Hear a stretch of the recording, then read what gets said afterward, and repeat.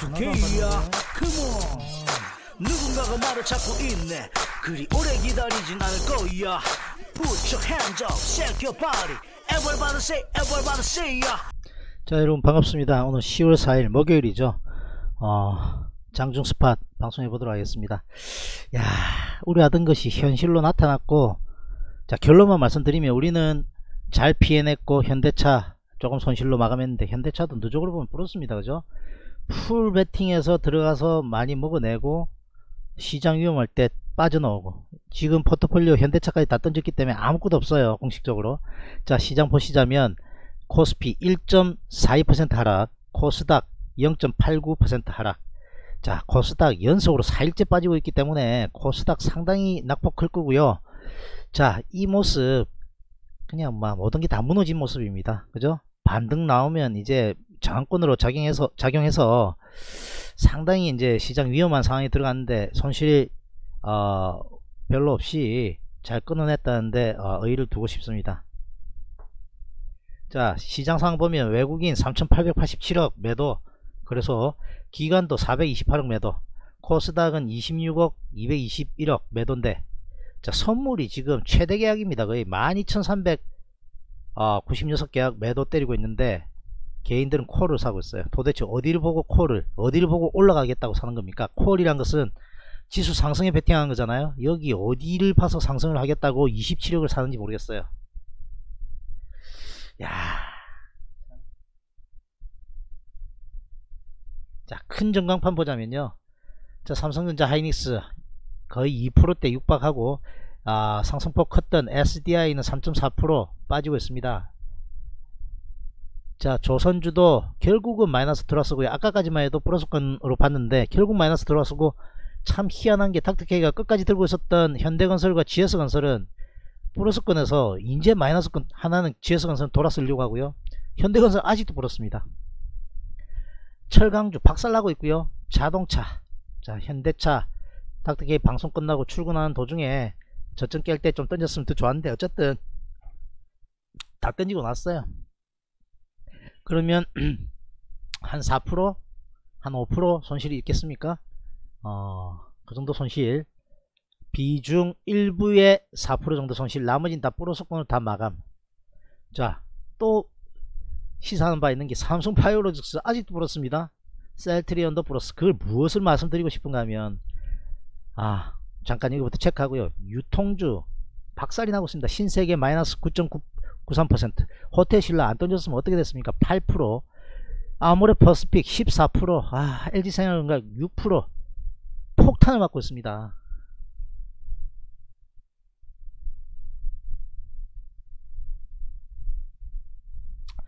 자 여기가 포트폴리오 구성군들인데 삼성 바이오로직스 아직도 플러스 유지하고 물론 어, 브라질에 있는 어, 제니퍼하고는 여기 여기 여기를 깨도 손절 여기를 아 손절이 아니죠. 차익 실현. 여기에서 밀려도 차익 실현 사인을 줬기 때문에 이제 뭐 지금 좀 차익 실현 하면 시장이 낙폭이 저만큼 센데 플러스거든요. 45만원 들고 있습니다.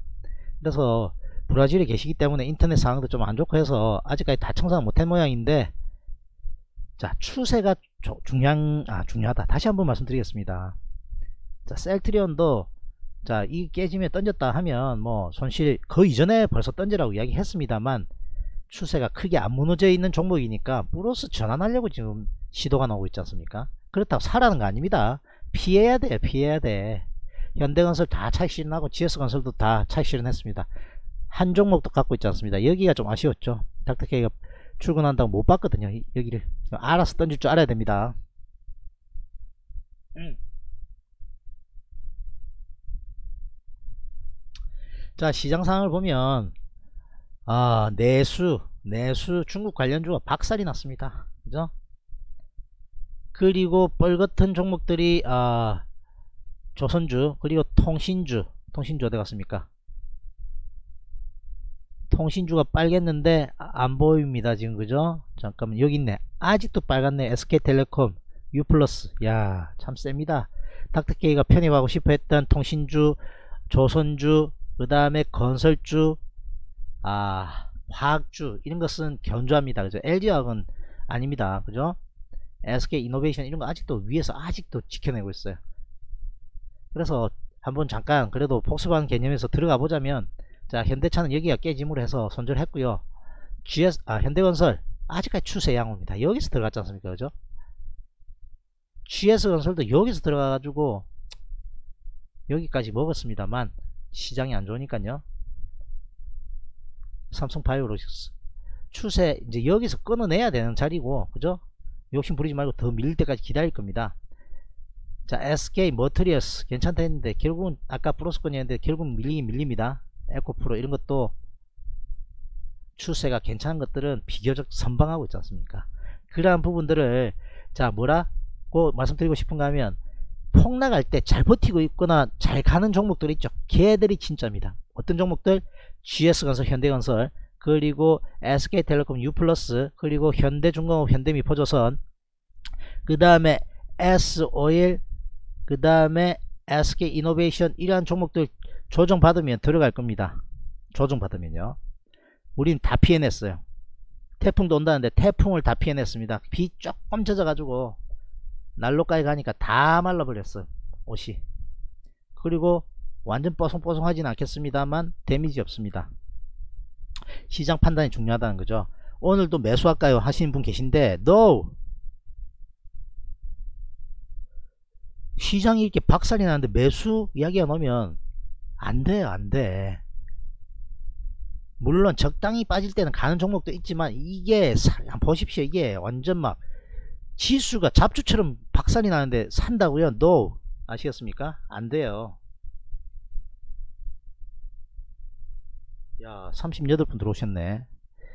자 닥터케이가 말씀드렸던 거 지금 위배되는 게 없을 겁니다. 위험 관리하자고 전일부터 다, 거의 다 던졌어요. 현대차 하나 빼고 다 던졌습니다. 그래서 핵폭탄을 피할 수 있는 겁니다. 던지면서 손절했느냐? 손절도 일부 있었지만 손절한 종목은 4% 정도? 먹은 건 7% 8% 이상씩 다 먹어냈습니다. 그죠?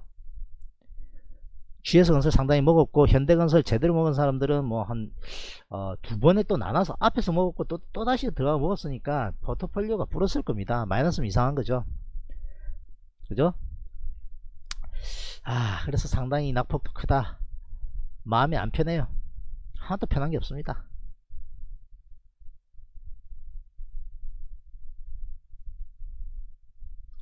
자 새로 보이는 분 계시네. 제니퍼 기다리고 계셨네. 자 제니퍼. 삼성 바이오로직스 어떻게 했어요? 아까 전략 준 대로면 지금 좀 던져야 돼요. 안 던지시면 청산하세요 적당히. 청산하면서 가세요. 여기 저항 받을 거예요. 크게 가기 힘듭니다 지금 장이. 그러면 적당히 끊으세요. 그리고 밑으로 쳐지면 착착착 해가 오늘 다 끊어버리세요. 다 끊어버리세요. 그리고 다시 들어갑니다. 밑으로 쳐지면 48만원 내지는 지수가 개폭락이 나가 밑으로 쳐지면 쳐질수록 thank you하고 들어갈 겁니다. 왜? 우린 다 피했거든. 다 피하고 리바운드 날 때 들어가면 째버 먹어요. 될지 안 될지 모르겠습니다만 다음 주까지로 넘깁니다. 이번 주에는 안 돼요. 내일도 안 되고 아, 월요일도 좀 그래요. 관망 계속 관망 10일은 닥터케이가 출장 가야 돼요. 그러면 어, 목요일이 어, 11일이 어, 만기일인데 뭐 길게는 11일까지 버틸 겁니다. 안 할 거예요. 지켜보다가 12일이나 죽을 만큼 죽고 난 다음에 어떻게? 죽을 만큼 죽고 아이고 내 죽네 하면서 폭 폭락 한번 더 놓고 난 다음에 이런 거 도치나 빨간 거딱설때 들어갑니다. 분할로. 그리고 승부 볼 겁니다. 쌈바 방 갖고 있으면 좀 전에 이야기 하잖아요. 잘 챙겨야 돼요. 욕심 고마 부리시고 천천히 던져가세요. 잠 주무시지 마세요. 돈이 몇천이 걸리지 않습니까? 제가 알기로 올라가도 사살 끊고 내려가도 사살 끊으세요. 이거 끊는 게 맞아요. 잘 버티고 있어서 그렇지. 아까 아까 건설주하고 조선주가 잘 버텼어요. 그런데 결국 마이너스 빠져요 여기가 탁 깨지면 푹 하고 빠질 수 있으니까 고점 부입니다 비교적. 잘 먹었으니까 손실 아니니까 욕심 고마 부리고 천천히 끊읍시다. 그리고 기회 있습니다. 수익 아닙니까 수익? 딱 기다려 있으면 돼요. 좀 덜 먹, 좀 덜 먹는 거 상관없어요. 피해야 됩니다.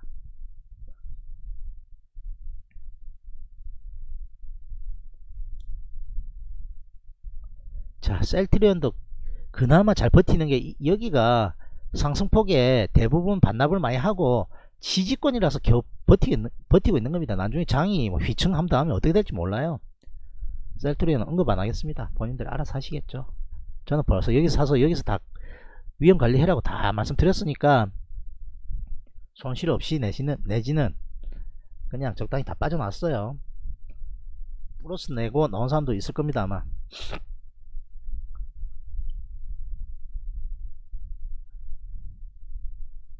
야, 근데 이 중국 관련주들 왜 이렇게 내수, 그 다음에 여기 아, 화장품 이런데 왜 이렇게 박살이 나죠?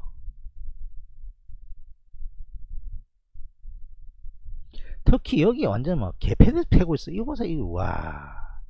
이것도 추세가 저번에 누가 한번 질문했을 겁니다. 하락 추세 아닙니까? 작살나는 겁니다. 해라고 말한 적이 없을 겁니다. 그죠?